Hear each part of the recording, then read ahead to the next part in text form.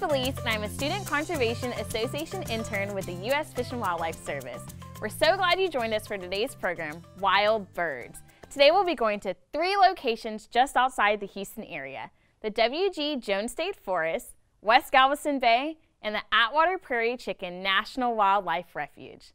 Let's start with a special little woodpecker found in the forest just north of Houston. Even though its name includes red, it's actually a mostly black and white bird. Only the males have a little bit of red feathering on the side of their heads. Do you know what woodpecker I'm talking about? Meet the red cockaded woodpecker. What's really interesting about this woodpecker is that unlike other woodpeckers, it builds its home in live pine trees. Other woodpeckers use dead trees because the wood's rotten and saw, but not the red cockaded. It has to have pine trees that are alive. Now you're going to meet Miss Donna. She's a biologist with the Texas A&M Forest Service. She's been studying the red cockaded woodpeckers for nearly 25 years. We're going to the W.G. Jones State Forest, one of the largest urban forests in the country, and home to the red cockaded woodpecker. She knows a lot about this bird, including what the inside of its home looks like. Well, this is what we call an artificial, means it's man-made, red cockaded woodpecker cavity.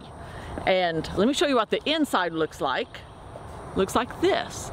This is the cavity that the birds will go in to roost in at night and to lay their eggs if they're going to lay eggs.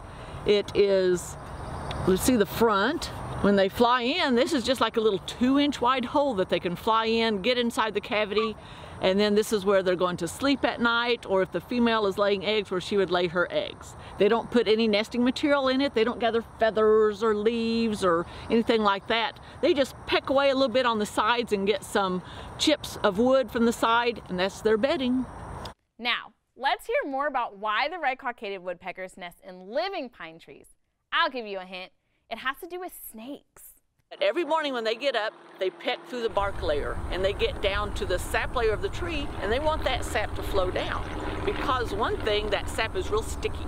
And if a rat snake is climbing up the tree and gets that sap on his belly scales, it's going to irritate his belly scales or he's going to stick them together. So he's going to back off of that and not get in the tree and get the eggs and the young. So that pine sap in a live tree, it's only going to come out of a live tree, is a very good defense against the rat snake. That is so cool. So that's why the red cockaded woodpeckers prefer live trees to dead ones. It's all about the sap and how they use it to protect themselves from predators. Pretty smart, huh?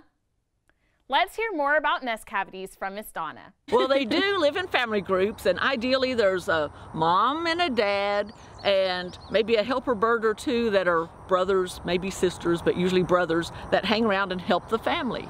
But at night when it's time to go to bed, we call it going to roost. They go inside their cavity trees. Each one has their own cavity.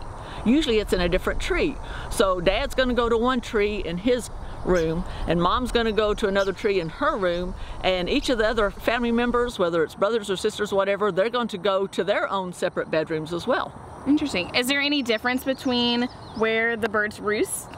Well the male the dad usually picks the nicest newest cleanest cavity because that is where the mom the female is going to lay her eggs.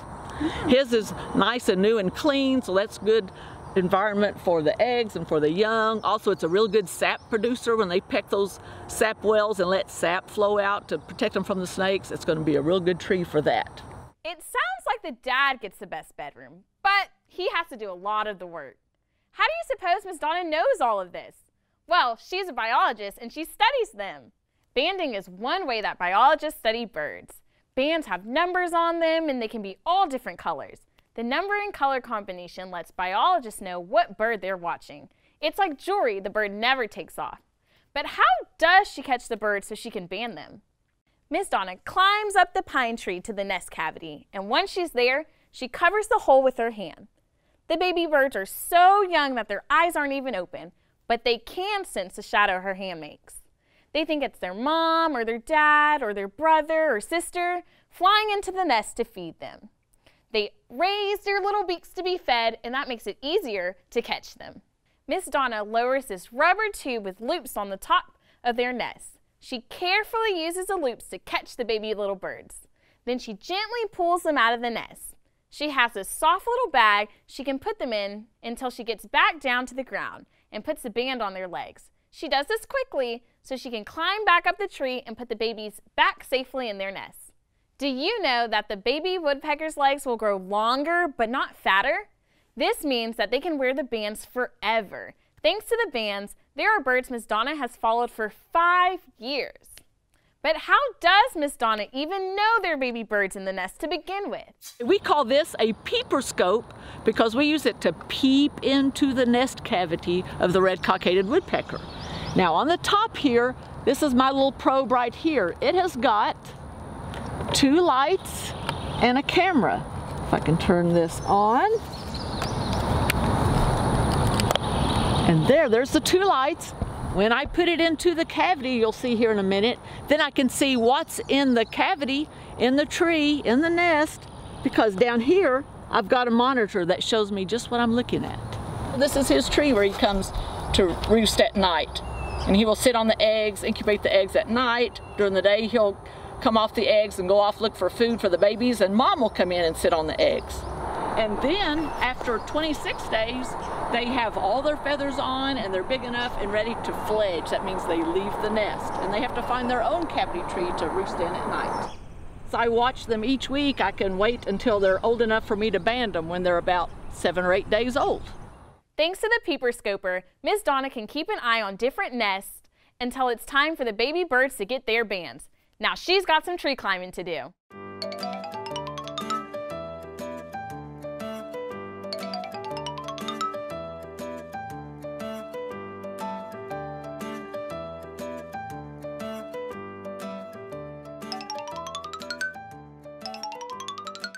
If you're thinking to yourself, why does this matter? It matters because her research on the red cockaded woodpeckers helps us make better decisions on how to manage the forest for other birds and wildlife that live in the forest. Doesn't Miss Donna have the coolest job ever? Now we're going to meet another person with a cool and important job. Meet Dr. Susan from the Gulf Coast Bird Observatory. She's going to tell us all about American oyster catchers. Dr. Susan was once a computer security expert, but she wanted a job protecting and studying birds she picked a really special place to work. As the Director of Conservation Research at the Gulf Coast Bird Observatory, she spends a lot of time in the West Galveston Bay.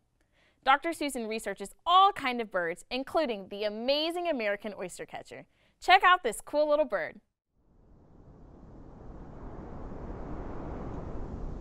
My primary focus is American oyster catcher, which is a big shorebird that breeds out here. Um, but there's a lot of other birds nesting out here too. We have a lot of black skimmers on this island and forester's terns. They all nest on the ground, so you can't really tell they're on a nest.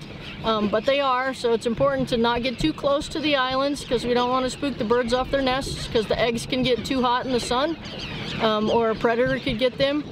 And uh, so we just want to be careful around the islands and keep the birds safe and uh, let them do their nesting thing and then we'll have lots of bird babies.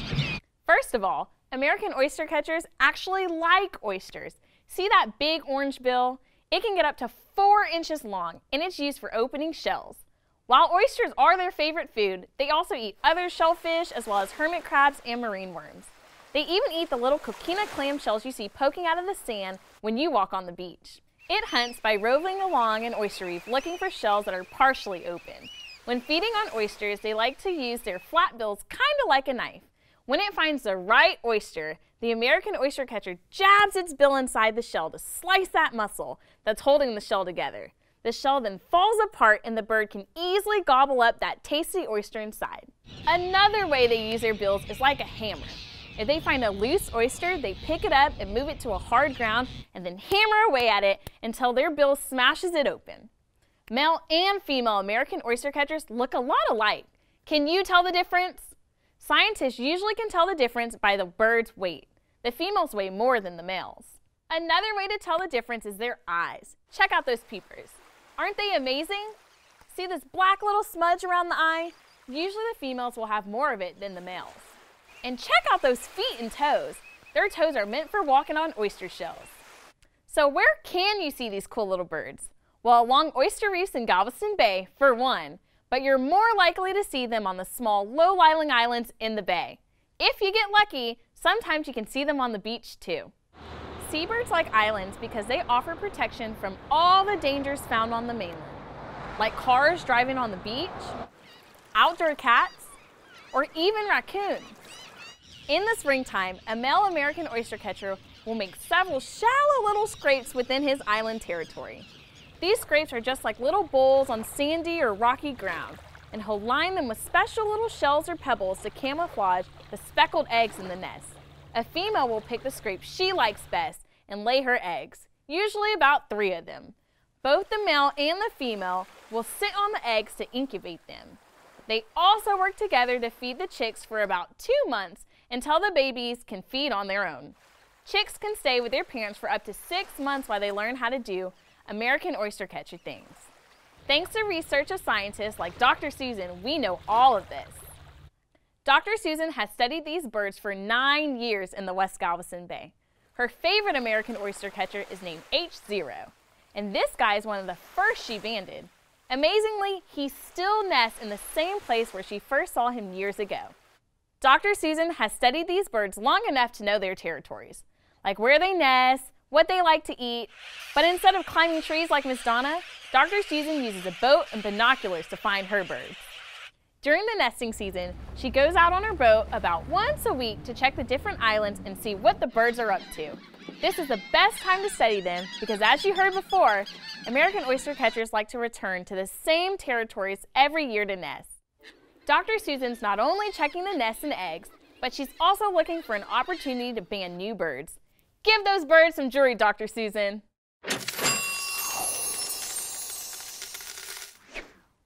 When she spots a bird without a band, it's time to bring out the decoys. Do you know what a decoy is? A decoy is an imitation of an animal that's used to attract other animals.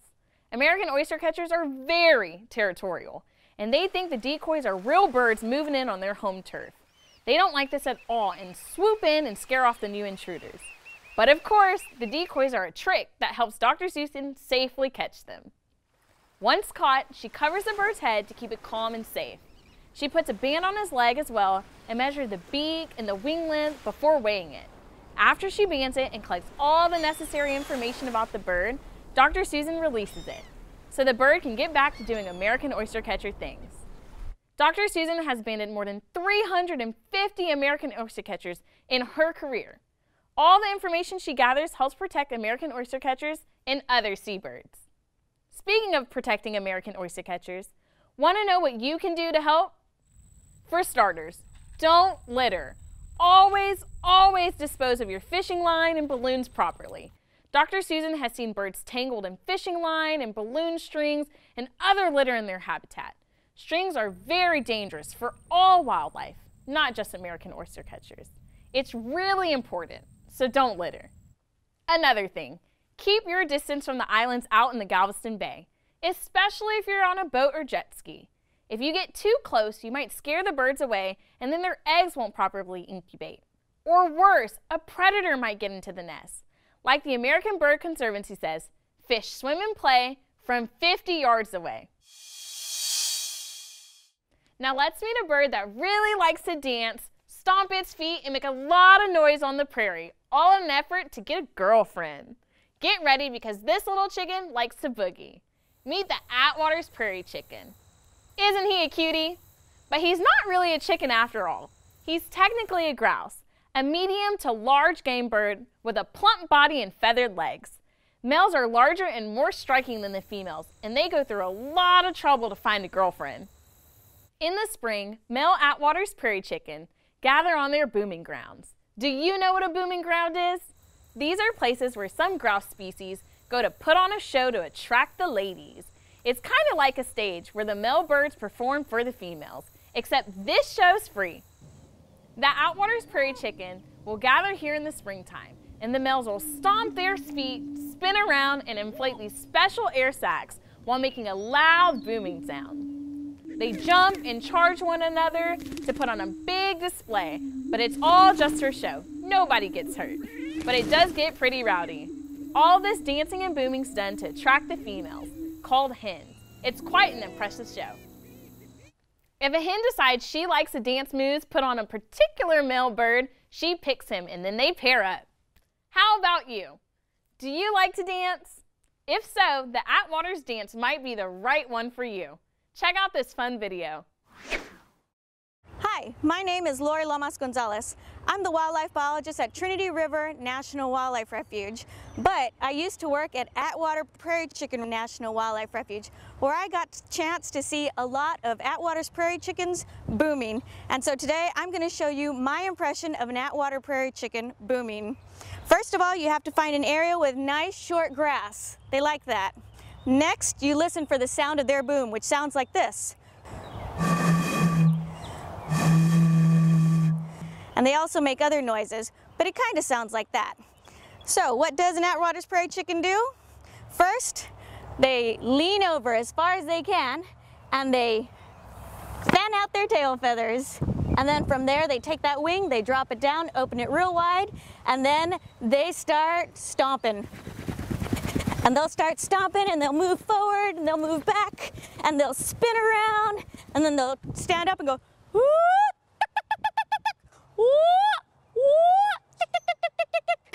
They have these large yellow sacks and they blowing up real big. And they do that while they make that noise.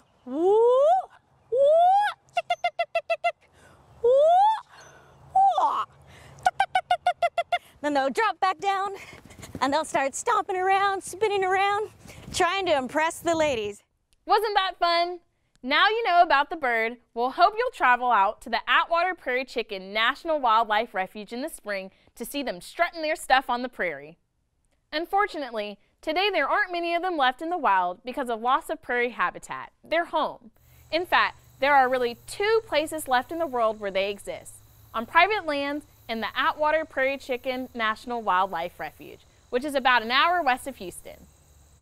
Attwater's prairie chickens are highly endangered which means there aren't many of them left. The good news is that there are a lot of partners working together to help make sure this little dancing bird is here to stay. Want to know how you can help? For starters, tell everyone you know about the Attwaters Prairie Chicken. Make your own Attwaters dance video and share it with the rest of us using the hashtag Dancing Like an Attwaters. Do a presentation at your school about this colorful, dancing, booming bird that really is a Houston bird. You can also help by restoring the prairie by planting native plants in your yard. Don't you just love that dancing little bird? Now we're going to share a map that shows you where you can find all these cool little birds near Houston. To see the Attwater's Prairie Chicken, be sure to visit the Attwater Prairie Chicken National Wildlife Refuge in the spring to watch some booming. If you want to check out the red-cockaded woodpeckers, visit the Jones State Forest, located about 30 minutes outside of Houston near Conroe. You can see them any time of the year. Check out the American oyster catchers next time you go to Galveston Bay. You'll know them by that big orange bill. If you would like to see and enjoy wildlife, visit a National Wildlife Refuge near you. Did you know there are five National Wildlife Refuges within a one hour drive of Houston? And there are more than 560 National Wildlife Refuges in the United States and its territories. These are public lands set aside and managed for the benefit of wildlife and you. Thanks for joining us today and watching the Wild Birds program. We hope you enjoyed learning about these special birds found right here in the Houston area. Before we close, I want to give a special thanks to the Valenti School of Communication at the University of Houston. They were a real help in making this video possible. Now be sure to watch the credits where we'll give you a few more details on how you can find these wild birds on your next nature adventure. See you later, alligators!